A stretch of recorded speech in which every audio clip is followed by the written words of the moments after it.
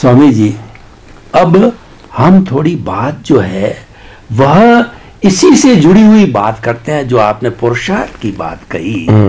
देखिए हर व्यक्ति कहता है और हर व्यक्ति चाहता है हर व्यक्ति करता है कि मैं अधिक से अधिक पुरुषार्थ करके और विश्व का नंबर वन बन जाऊँ, उसके लिए वो आपाधापी करता है, ये करता है, वो करता है, फैक्ट्रियाँ लगाता है, या जिस जिस लाइन का व्यक्ति होता है, उस उस लाइन की वो बात करता है, पूरा जीवन उसी के अंदर लगा देता है। तो मैंने आपके मुखारविंद से कई बार सुना है रियल पुरुषार्थ और रिलेटिव पुरुषार्थ तो जो व्यक्ति ऐसा कहता है, ऐसा करता है, इन दोनों को कौन सी श्रेणी के अंदर डाला जाएगा? अगर ये रिलेटिव पुरुषार्थ में आता है तो फिर रियल पुरुषार्थ क्या है? और रियल पुरुषार्थ हमें किस तरीके से मोक्ष मार्ग के अंदर, मुक्ति के मार्ग के अंदर सहायक होता है? तो कृपया रिलेटिव और रियल पुरुषार्थ को आप थोड़ा गहराई से खुला कीजिए,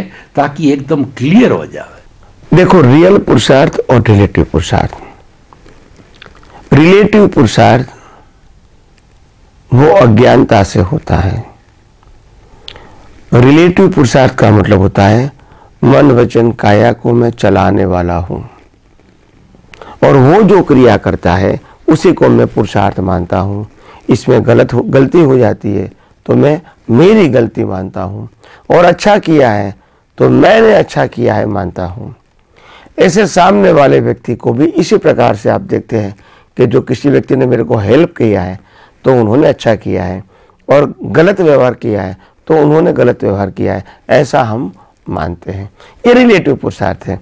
रिलेटिव पुरुषार्थ से पाप पुण्य बनते हैं राग द्वेष बनते हैं, कर्म बनते हैं और जन्म वर्ण बनते हैं।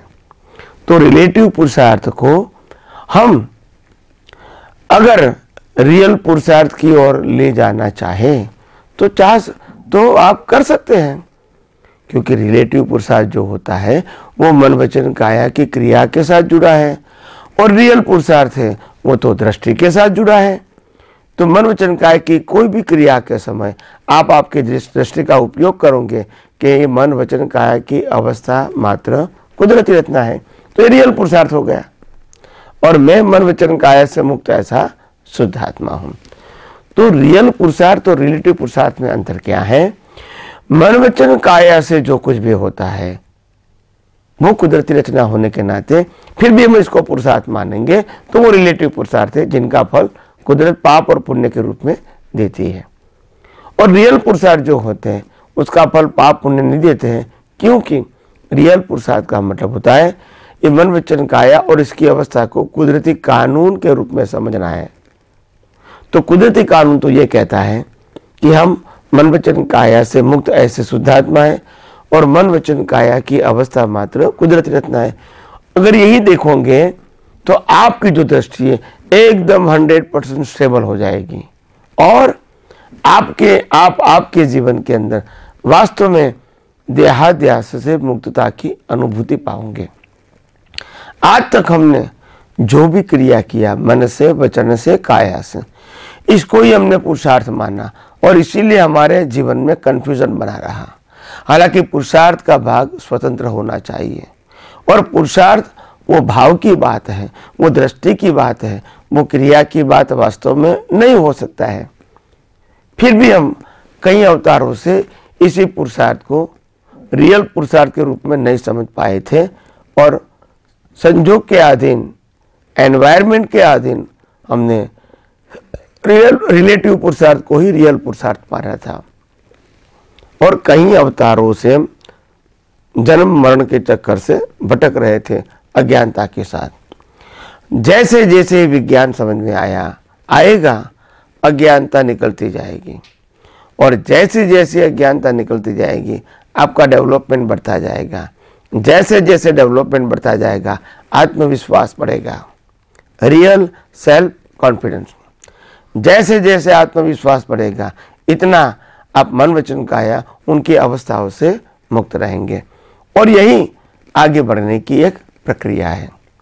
तो इसीलिए रियल स्पीकिंग जो रियल पुरुषार्थ होता है, वो दृष्टि और भाव के साथ जुड़ा है और रिलेटिव पुरुषार्थ है, वो मन वचन काया के साथ जुड़ा है।